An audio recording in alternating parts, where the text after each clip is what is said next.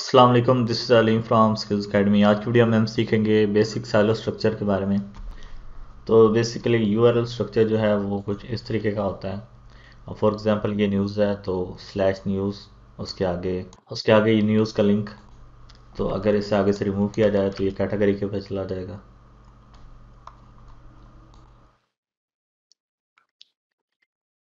तो silo structure create करने के लिए हम जाएँगे डैशबोर्ड में।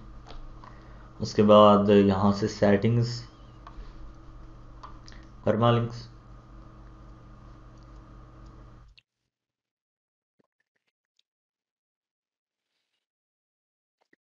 उसके बाद इसे रिमूव करेंगे और यहाँ पे कैटेगरी फिर उसके बाद पोस्ट नेम फिर सेव कर देंगे।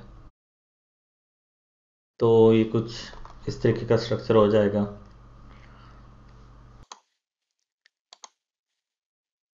कैटेगरीज कुछ इस तरीके की होनी चाहिए यूनिक डिस्क्रिप्शन हो और नीचे पोस्ट आप देख सकते हैं कि पोस्ट का कोई मेटा डाटा वगैरह नहीं शो हो रहा। मेटा डाटा जो है वो काफ़ी दफ़ा डुप्लीकेट कंटेंट इश्यूज़ क्रिएट कर देता है इस वजह से हम उसे इंक्लूड नहीं करते। तो वीडियो देखने का शुक्रिया, उम्मीद है आपको इन कंसेप्ट की समझ आ गई होगी।